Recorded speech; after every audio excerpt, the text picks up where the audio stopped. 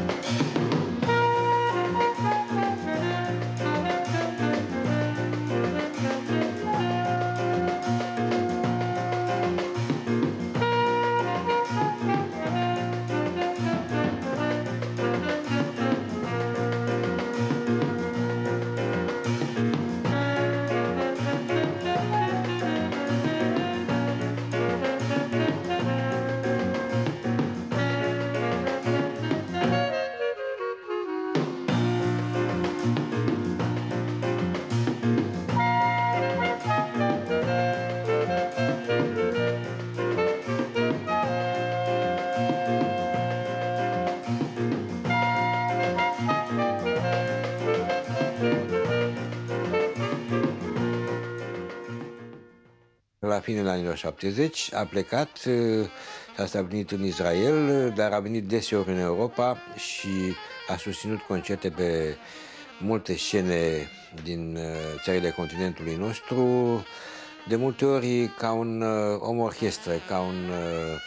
muzician solo, cântând la saxofon și uh, improvizând cu el însuși și având uh,